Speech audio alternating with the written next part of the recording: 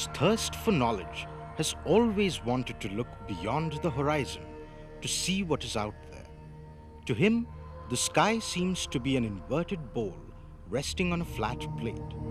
Sprinkled over the inner surface of the bowl were the stars, arranged in fixed, identifiable patterns that did not change noticeably from day to day, year to year, or even century to century.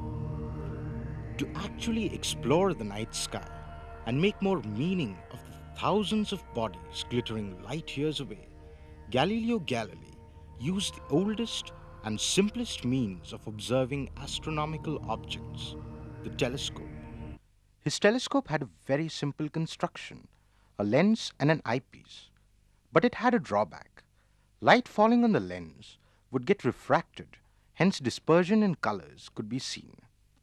The great scientist Newton solved the problem by creating a concave surface by using a mirror which helped all the light to meet at one point. So here we are at the Science Popularization Lab at IUCAA, where we can see that telescope making can be some effort and a lot of fun. Hi, we are here to make an astronomical telescope. The first step is to make the reflecting mirror, for which we have two glass blanks or disc of glasses, which are to be grinded one over the other with the help of abrasive called carborundum. One of them will turn into a mirror. These bottles here have different grades of carborundum powder, which we will use for grinding the mirror. Now, carborundum powder is basically material somewhat like sand, only that it gets finer as you go on to higher grades. As you will see, this powder will be used to grind the mirror or say give a concave curve to the mirror and then smoothen its surface. Now that we are all set to work, Manvi and Vinaya will take us through the complete process of grinding the mirror. We will start by placing the mirror at one-fourth of the diameter of the tool. This is done so that the mirror's center and the tool's periphery are ground to achieve the required curvature. 120 grade carborundum is used for rough grinding. We'll count one up and one down motion as one stroke and give 20 such strokes.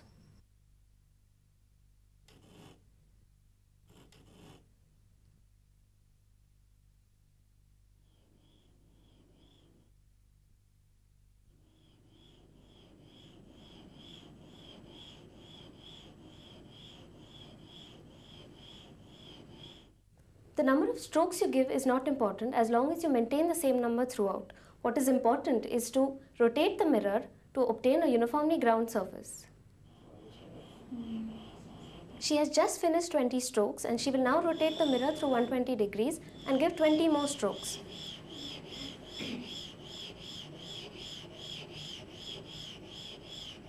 After three such rotations, she will rotate the tool through 45 degrees and continue the same process.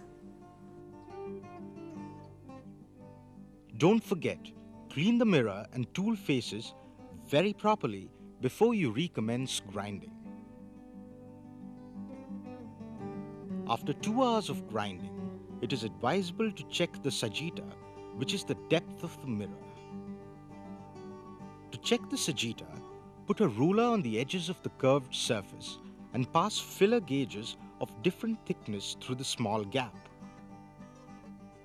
With different combinations of feeler gauges, you can find out the exact sagitta of your mirror.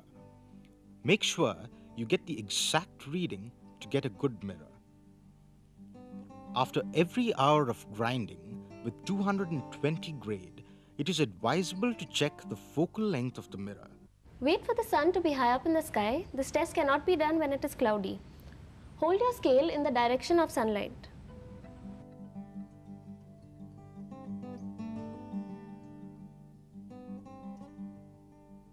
Wet the mirror face and try to focus the sun's image like this.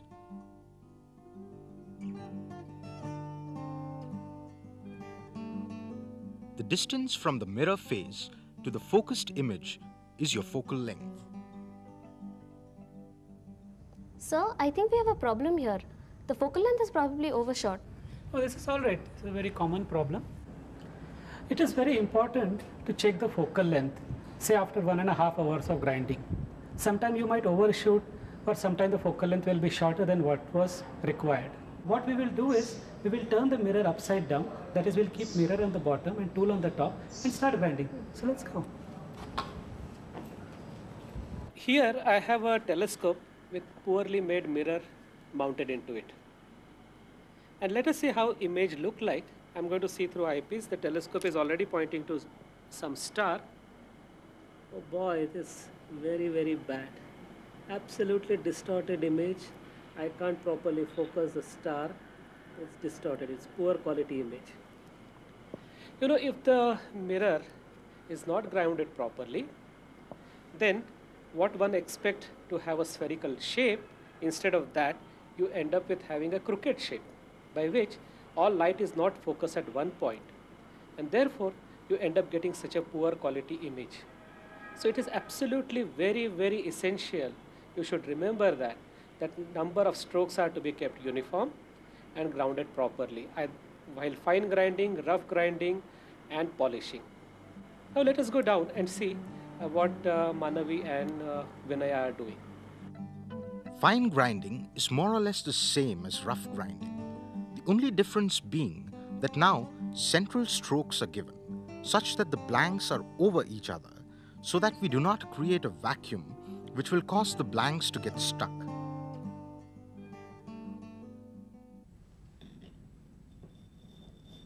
One way to separate them is to keep the blanks in the deep fridge or otherwise hammer them out.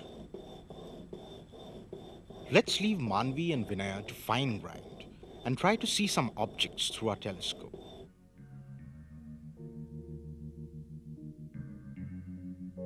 Best time to observe are winter nights when the night sky is very clear. This is Jupiter, the biggest planet in the solar system. With careful observation, the cloud features, along with the moons of Jupiter, can be seen with this telescope. Saturn, the only planet which has a magnificent ring complex, can be seen now. The moon is the most easily and frequently observed and photographed object in the night sky, and with this telescope, the craters on the surface of the moon are visible. Ordinary glass blanks that we started off with are now finely grinded mirror and the tool. We are going to polish the mirror now with rouge, which is nothing but ferric oxide, or in a very ordinary language, it is uh, iron rust. The grinding procedure or the polishing procedure is the same as that of grinding procedure. That is, we give 120 strokes, 20 strokes like this 20 then turn by 120 degrees another 20 strokes turn by 120 degrees and after that we rotate the mirror by 45 degrees and we continue polishing the mirror now let me show you how this pitch tool is made to make the pitch tool edge or side of the mirror is wrapped with plastic coated paper or butter paper on this a plastic grid is placed the mirror is then lightly heated to make it warm. Sprinkled over it is some soap solution and then gently hot molten pitch is poured over it.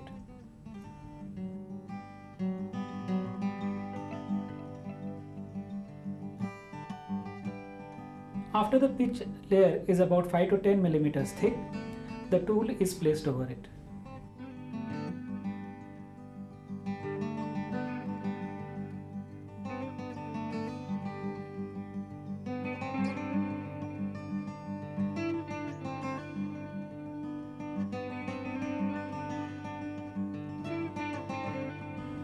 In about 10 minutes time, both mirror, pitch tool and the tool would have cooled down sufficiently.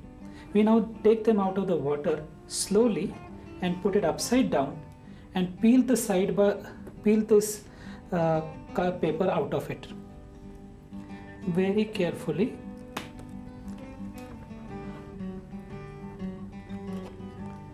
and so that not to disturb the mirror and glass and then slowly push the upper blank out. Keep it aside and then peel this via plastic mesh and here we have grooved pitch tool. After polishing, the completed mirror should be accurate to one eighth of the wavelength of light for us to get a good image in the eyepiece. Therefore, we must test how good the surface of the mirror is. Mirror is kept on the stand at the radius of curvature so that the reflection of light will come to the same point.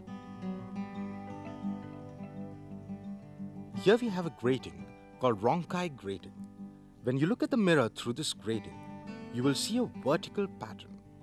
For a good mirror, these lines should be parallel, as in this case. But sometimes, if the surface is bad, one gets all sorts of distortions. The test is designed to show how perfect the surface of the mirror is. If the mirror is perfectly configured, uh, the fringes are going to be straight. Now this test is very sensitive. This can be easily shown if you say insert a finger between the mirror and the screen.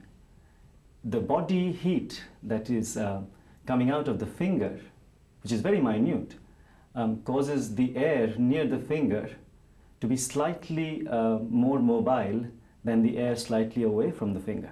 And this imbalance causes the fringes to get disturbed. This shows how sensitive the test is. And so just by looking at the fringes um, and making sure that they're straight, you can make sure that the mirror is perfectly configured. After fine grinding and the Ronchi test, the interesting process of silvering is done. It's our ready mirror now to be coated with some highly reflecting material. After cleaning the mirror with fuming nitric acid, rinse it in water and make sure it is always covered with water.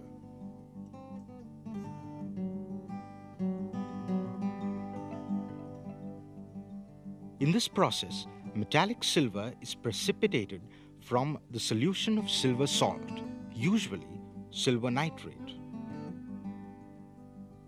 You can also deposit silver in any chemistry lab or at home, the way Vinaya is doing it now.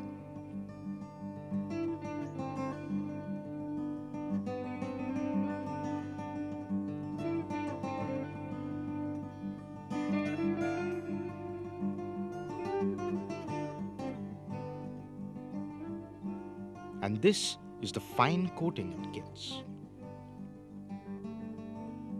The telescope tube is now mounted onto the wooden base and the mount, which can be made very easily.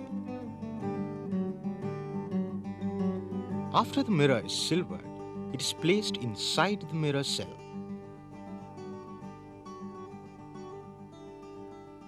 The mirror cell holds the mirror inside the telescope tube and the adjustments are made as seen.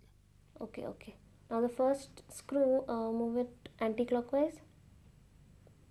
Mm, little more. Okay. Uh, okay, that's perfect now. The mounting of the telescope is now complete. The small flat mirror at 45 degrees is used to get the rays of light coming from the object being observed to the eyepiece, as you can see here. And now the telescope is ready to be used for observations.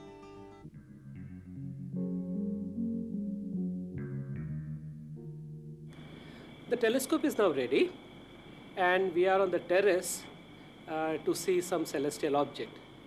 The object that you see behind in the background is Venus and I am going to show you how to point the telescope to Venus.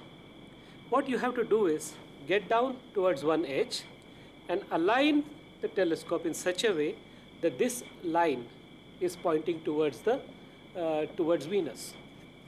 I come down here and bend slightly like this and just rest Venus on top of this and then come down towards the eyepiece.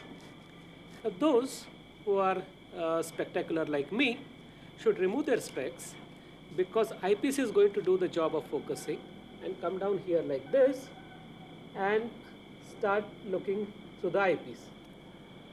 You may have to move telescope slightly in order to get Venus in the field like this and yeah there I have. I can see Venus beautifully sparkling in the eyepiece. The telescope is well balanced so you can leave it for others to view this object. Even though the largest telescopes in the world use mirrors 10 meters in diameter, small telescopes are still very useful. Most of us professionals started by using small telescopes. They're used in training. Almost all variable star observations which tell us about stellar evolution, a lot of things happening in stars, are exclusively done all over the world by small telescopes, often with digital cameras.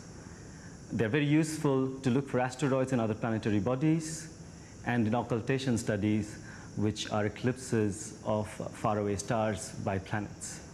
Even though cutting edge telescopes will grow larger, small telescopes such as this which would never ever lose their use.